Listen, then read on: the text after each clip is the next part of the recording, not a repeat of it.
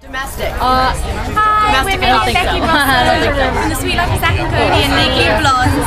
And we're just hanging out here at the Elizabeth Glaser Pediatric Foundation. I'm having a great time and the person who makes us laugh the most is Milly. Uh, she's always doing funny voices and funny faces and sometimes it gets a bit annoying. But most of the time it's really funny. And uh, my sisters really make me laugh, including Becky. I, I've, uh, we have three other sisters, so there are five girls in total. So our house is very noisy and you of jokes and it's really fun. Okay, we'll see you later. Bye!